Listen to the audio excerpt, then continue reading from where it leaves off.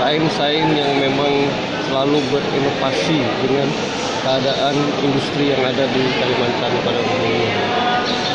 Sehingga kan kita memang di Poliban ini adalah uh, suatu ilmuwan ya ilmu. Jadi ilmu-ilmu yang nantinya penataan itu kan perlu adanya desain-desain, desain-desain baik itu uh, desain lingkungan, desain uh, apa taman dan lain sebagainya. Dan itu ditunjang oleh uh, jurusan kita yang ada, ada teknik sipil, ada geodesi, ada uh, ada uh, lima jurusan.